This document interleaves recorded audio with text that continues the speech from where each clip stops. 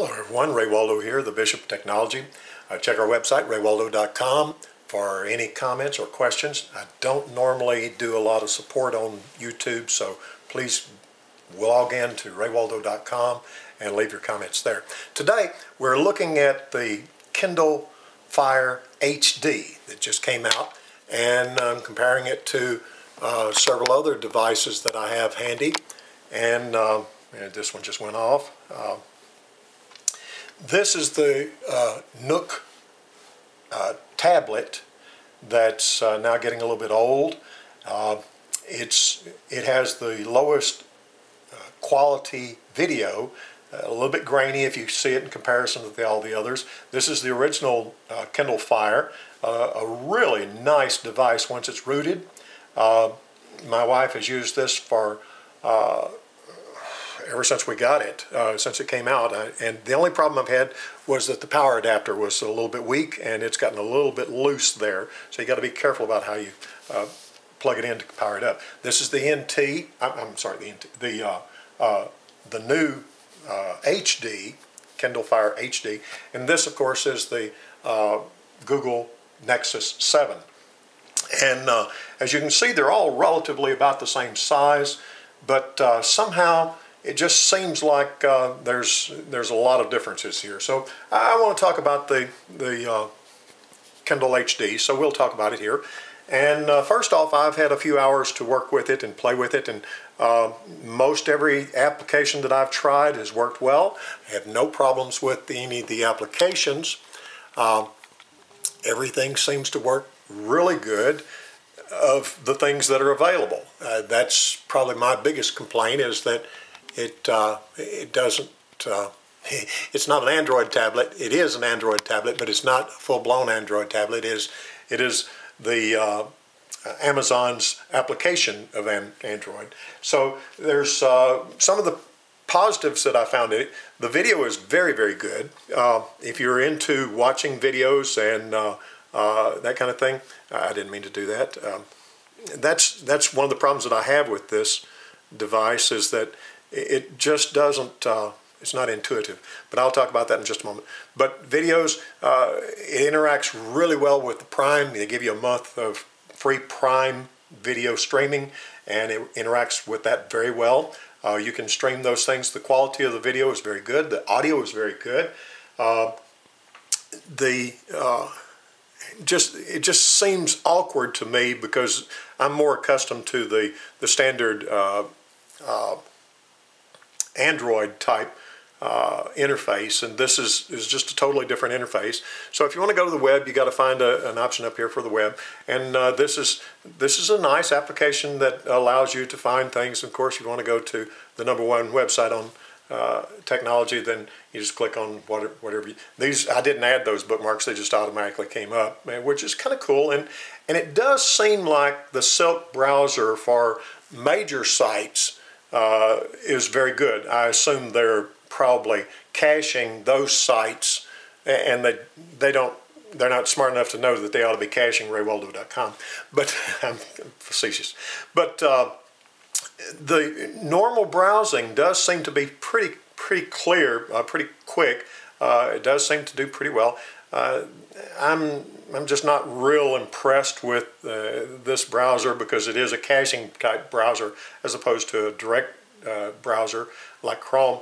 And uh, so uh, the caching slows down sites that they don't cache. So it's just a matter of, you know, if you're looking at Google or something big, some big sites, then yeah, those are going to be uh, very fast because they cache them very quickly.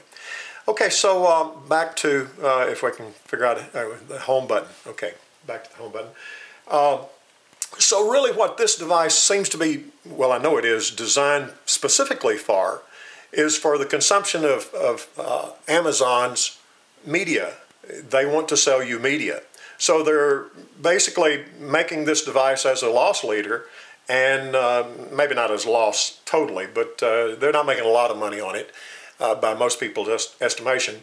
But it is a, a loss leader of type, and uh, the the idea is that once you get the device, that you will be kind of tied into an, uh, in, into Amazon and buying their their books and their videos and their audio and those kinds of things. You can do other things. Uh, Hulu Plus seems to work, I guess. I don't have Hulu Plus, so I can't really check it. But uh, everything that I checked, uh, games seem to work okay. They, you know, they it seems a little bit slower than I would have thought. But uh, these action games seem to work fine. Uh, Skype seems to work. This is an excellent game. This pool game that I have is really great. It works well. Uh, everything that I tried seems to work well. Um, Netflix does work well. Uh, everything seems to, to do uh, what it's supposed to. But you're limited to just the items that are on the Amazon App Store. So uh, is this a, a nice interface? not for me. I don't like it at all. I really don't like this this uh, type of interface. I want to just be able to point out the things that I want and have them ready available to me right now. Uh, like this, you know, these are the things that I use and, and they're available, you know, so I can click them right away. I don't have to search for what I'm looking for. So I don't like this. But if you've never used any of these smart devices or anything before, then maybe this is a good good interface because you know it's simple. You can't go wrong. You you just thumb around until you find what you're looking for, and then you click on that, and you know that's that's what you see. So maybe that's okay for a, a non-user, someone that has never used a smart device or maybe even a computer before. This would probably work really well for them. Uh, I don't like it at all.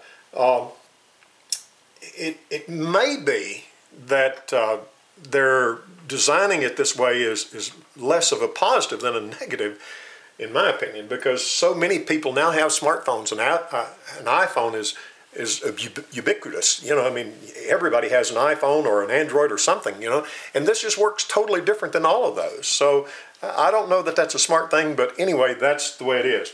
So uh, among the cons, that is the the number one thing. This is a dumb interface, in my opinion. Uh, it's non-intuitive if you've ever used any other device. It's just not intuitive at all. Um, there's no Play Store. You can't get to the the uh, uh, to the Google Play Store unless you root this device, which is uh, right now tenuous. The people who have rooted the, the device, uh, some of them had pretty good success, but this is very immature in the development of rooting. So you're really risking a lot trying to root the device. Um, I would recommend that you not root it if you buy it. Uh, not now, wait a little while. Uh, there's, there's, uh, you can, there is an option under the device, settings device that you can turn on unknown sources, but if you do, you know, I haven't really tried, how do you get those those uh, applications to, to fly. I, I don't know.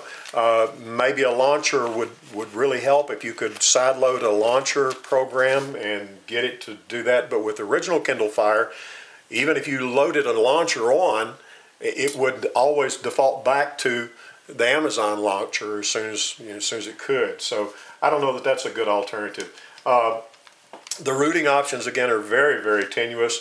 There is an option under settings, security to turn on ADB, so you can get to the device with ADB, but uh, I don't recommend it right now. The other thing uh, is uh, location services. Uh, it doesn't have a GPS.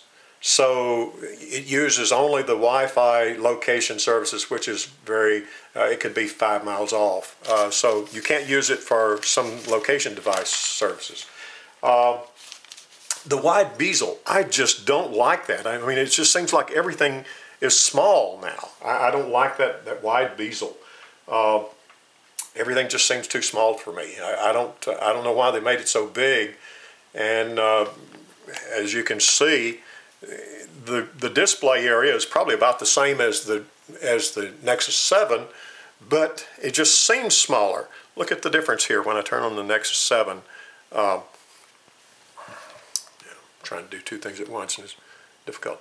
Um, okay, uh, here's the displays. And uh, somehow it just seems like there's a lot more if I can see it here, if I can get it where it's in, just seems like the the Nexus has a, a bigger display because it probably doesn't. You know, so let's see if we can kind of compare them. Yeah, it is a little bit larger. The display is just a little bit larger on on the uh, that side, and uh,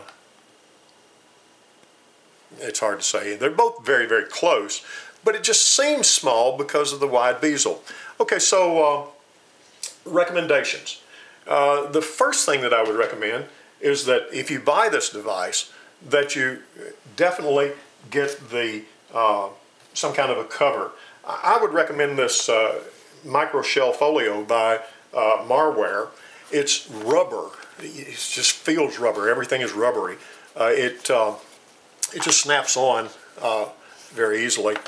you just put it in there and snap it on, and it's done. And it, it really closes and feels well. That's not large. It's you know it's very comfortable. That rubber feel just gives me a good confidence that you know if you dropped it or something, you'd have a half a chance of saving it. Uh, you can turn uh, this. By the way, that does not open and uh, turn on and turn off the device like the Nexus 7 covers do, or uh, iPad. But you can hook the device underneath here and use it uh, for stand up uh, like this, or you can uh, double it over somehow and there is a rubber band on the back of it that supposedly allows you to use it as a handhold. I haven't found any way that makes that really comfortable too much but you can do it. This is, see that's, that's very loose and uh, see how it just kind of flops there. The, the rubber is too soft I guess. Maybe you're supposed to do it. I don't know what you're supposed to do but anyway it doesn't, doesn't work well for me. But the protection value is very good. It, it, it feels like that would protect it quite well. Okay, so the other thing that I have in opposition to the the uh, uh, the device is that they don't include a power adapter. Is that a weird thing or not? They don't have a power adapter in there. They have the USB cord, but no power adapter with this uh, Kindle Fire HD. They say you can use any standard USB adapter, uh, mini USB, mini USB adapter, but it is slow. It is even slower if you use it on uh, a low capacity or your computer. So what they do, they sell you a, a $20 extra. Uh, supposedly it was for sale for $10, uh, half price, but when I ordered it, they didn't give me credit for the $10. They only, they still charged me 20. But um, this thing will speed up the, uh, the charging. And I know these are the case because it was the same thing with the old Kindle Fire. You had to have a special charger. So, but at least they included it with the other one. This one, you've got to pay $20 extra. You've got to pay $15 extra unless you want to take their advertisements on the thing. Uh, several little things that just really pick my, uh, well, anyway. So, bottom line, if you are uh, a new user and you're consumption oriented and you're just interested in movies and books, this is probably an excellent device. I mean, it really is good on movies. And, uh, you know, you get this little, uh, little folio and you set it up and watch a movie. That's, that's pretty cool, you know. You, you could do that and, and sit and watch a movie and, or in, lay in bed and, and watch a movie or something or, or, you know, stream music or whatever. Those are pretty good things if, if you're consumption and you're first user if you've been accustomed to using an iPhone, an Android, or something else of that nature, this is going to be kind of weird. I, I just got to tell you, it's kind of weird. Number two, don't try to root it right now. Wait a little while. Get the power adapter. Get the Marware folio, uh, and and enjoy it for a while. In a few weeks, or a month, or two months, or three months, maybe rooting will be available and uh, pretty uh, pretty comfortable to root it. In that case, this may be a fantastic device. I had really decided to send it send it back, but I guess I'll save it in hopes that maybe rooting will be available and I'll be able to support that for you on my website. Uh, that's still up to debate. If it was me just using this sucker, I would send it to Amazon to, today. I just don't like it. But that's, that's neither here nor there. My recommendation, there's nothing on the market right now that I'm aware of that comes close to the Nexus 7. This thing is fantastic. It is just super intuitive. Google is going to give you everything you need, everything you want. If you root the HD. You can't get what you get on the Nexus 7 unrooted.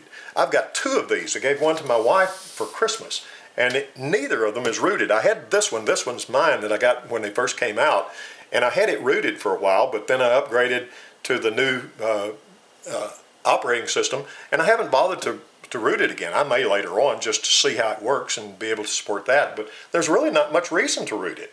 It gives you everything Google's got without rooting. So the only real advantage is maybe backup and a few other things, but you don't need it. I mean, it's just it's just so cool and it works and has GPS and has everything. I mean, everything works. It's smooth, intuitive. Everything just it automatically sets up. You don't hardly do anything. Just use it and enjoy it. Anyway, that's the Kindle Fire HD in a nutshell. A bad nutshell, in my opinion. All right, uh, my rating, 7 out of 10. See raywaldo.com for more, and uh, I'll have this, this uh, review in text online with the uh, link to the video later on. So, all right, raywaldo.com, Bishop Technology. See you later. Bye.